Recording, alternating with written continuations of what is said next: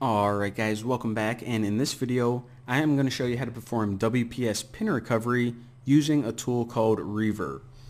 Now, I'm guessing that like 90% of you already know what WPS is, but for those of you who don't, WPS stands for Wi-Fi Protected Setup and what this is, is it's a system that allows people with, you know, little computer experience or router knowledge to easily set up a Wi-Fi network.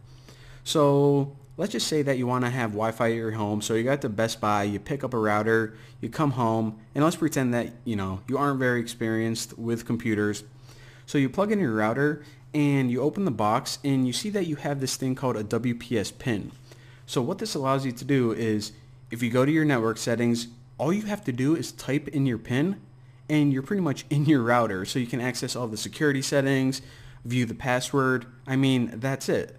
So you don't have to worry about uh, you know, some complicated radius server, some pre-shared key, none of that complex stuff. Just type in this 8-digit pin and you're golden. Now what you should do is if you ever set up your router this way, then as soon as you're done setting up your password, then you should delete this WPS key. But most people, they don't because you know most people who use this key they like I said aren't very very familiar with uh, computers or systems. Like who is? Like I don't know like 5% of people probably. So I'm gonna show you guys just how prevalent it is and how to you know see the networks in your area that have this available. And there's a lot more to it but I just want to show you guys the basics of it. And by the way let me just type eight random numbers right there if you guys are looking at this and you're like, okay, eight numbers, you know, I think I'm going to stick with password recovery attacks because that's uh, still, you know, a lot of numbers to be brute forcing. Well, lucky for the people who made this system, this number is actually split into two parts. So it's actually four digits and four digits. So, I mean, it cuts the brute force time in like less than half, like a fraction of the time. But again, this is just bonus information. Let's get to the fun part. So the first thing we need to do is we need to find a network that has this WPS still enabled. So make sure that your card's in monitor mode and if you go to arrow dump ng then right before you put your monitoring interface then throw in the option minus minus WPS. So this is just a flag to show um, additional WPS information about the Wi-Fi networks around you. So hit enter and you see that we now got this nice new column WPS. Now you're going to want to look for networks that have 1.0 and that means that this has WPS enabled still. So look at all of them, like half of them already. Um, I don't have it on mine, obviously. You shouldn't have it on yours. If you do, then you want to disable, disable it ASAP. But I mean, half, maybe more. So I'm just going to stop that right now. And now that we found our targets, what we can do is we can start running this tool called Reaver. So Reaver is basically a tool that is going to go through each pin one by one and brute force it. And like I said, you can have 0 to 9 or 0000 to 9999. So 10,000 options and usually a brute force of this only takes I don't know a couple hours. So in order to use Reaver, let me just target mine right now just type the word reverb and then after this you just type your interface and basic settings. So WLAN 0 mon that's what interface I want to attack from. And now minus B pass in the MAC address or the BSS ID of the network you want to attack. So we'll pretend if I had WPS enabled then that would be mine. And you also want to specify the channel so it isn't looking at every other channel. So right now my network is broadcasting on channel 1 you know, there's no use looking at every, any other channel. You're just going to waste time.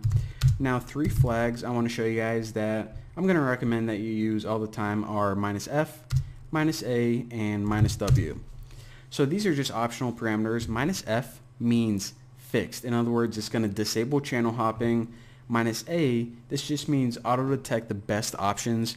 And these are kind of advanced for, um, you know, whatever your target access point is all those advanced options in W minus W is what you're going to do is you're going to mimic a Windows 7 registrar.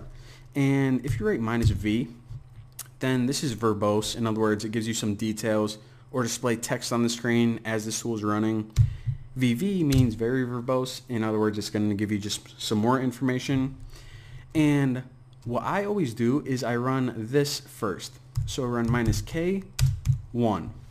So this is the kind of quick attack. It's called a Pixie attack. Now if Pixie, whenever you do this, pretty much uh, Pixie WPS, if you're familiar with that tool, um, the mode is enabled. So it's going to run through all the common pins. And if it doesn't hit, then you can run this tool again like this without it. But I always like to run Pixie first just so um, I can see, you know, it just helps speed it up. So let me just run through these real quick. I'm not actually going to get their pin, but basically what it's going to do is it's going to try the common ones first and then it's going to just start brute forcing. So sometimes you're going to see retrying last pin if you don't have that good of a connection and sometimes you're going to see timeout. Now what this means is you some routers they don't allow you to just keep pounding them and pounding them with these pins so you can only hit it like once every 30 seconds but a lot of routers, they're just like, all right, you can just keep trying. So then it's going to, you know, try it like every one second. But anyways, it's going to go through and it's going to go pin by pin by pin until it eventually gets the one that works. Now I'm going to stop this because I really don't want to crack their pin. But the thing is, whenever it hits, it's going to stop and it's going to say, this is the pin. This is the network. It's just going to give you some more information and it's going to give you their password.